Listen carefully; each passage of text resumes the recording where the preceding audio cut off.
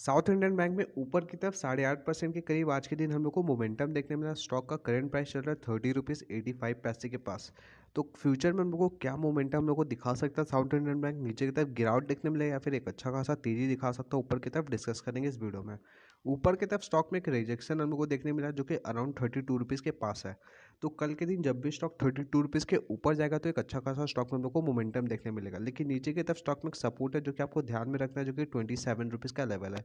तो किसी ने इन्वेस्ट कर रखा साउथ इंडियन बैंक में शॉर्ट टर्म के हिसाब से उन सबका स्टॉप लॉस होना चाहिए, जो कि ट्वेंटी सेवन रुपीज़ के पास, और किसी ने लॉन्ग टर्म के हिसाब से साउथ इंडियन बैंक में इन्वेस्ट कर रखा है, उन लोगों का स्टॉप लॉस होना चाहिए ट्वेंटी फाइव रुपीज़ के पास।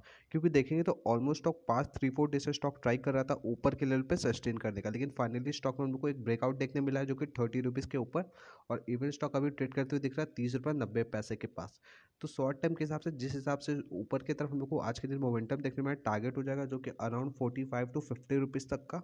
और लॉन्ग टर्म के हिसाब से ऑलमोस्ट स्टॉक हम लोग को एटी टू हंड्रेड रुपीज़ तक का भी मोमेंटम दिखा सकते हैं ऊपर की तरफ़, जो कि यहाँ से मोर देन ऊपर की तरफ़ थ्री हंड्रेड परसेंट का रिटर्न हम लोग एक्सपेक्ट कर सकते हैं, लेकिन लॉन्ग टर्म के हिसाब से। नो डाउट स्टॉक में थोड़ा मोड़ा टाइम लगेगा, लगभग हंड्रेड रुपीज़ का लेवल टच करते हुए, लेकिन देखेंगे स्टॉक स्टडी ऊपर की तरफ़ जा रहा है। स्टॉक्स का ट्रेंड अगर देखा जाए तो स्टॉक देखेंगे, पहले ऑलमोस्ट हम लोग को पास वन वीक सस्टेन करते हुए दिखा था, जो कि साइडवेज था। फाइनली एक ऊपर की तरफ़ मोमेंटम दिखा के फिर से बाउंस बैक देखे, ऊपर की तरफ़ मोमेंटम दिखा। है तो अगर स्टॉक में फ्यूचर में हम लोग को थोड़ा मोड़ा नीचे की तरफ़ करेक्शन भी देखने मिलेगा तो एक अच्छा अपॉर्चुनिटी हो सकता है हम लोग को और क्वांटिटी ऐड करने का साउथ इंडियन बैंक में, जो कि नियरली थर्टी टू लेके ट्वेंटी एट रुपीज़ के पास तक होगा। लेकिन स्टॉप लॉस ध्यान रखेंगे, जो कि ट्वेंटी फाइव रुपीज़ के पास होगा।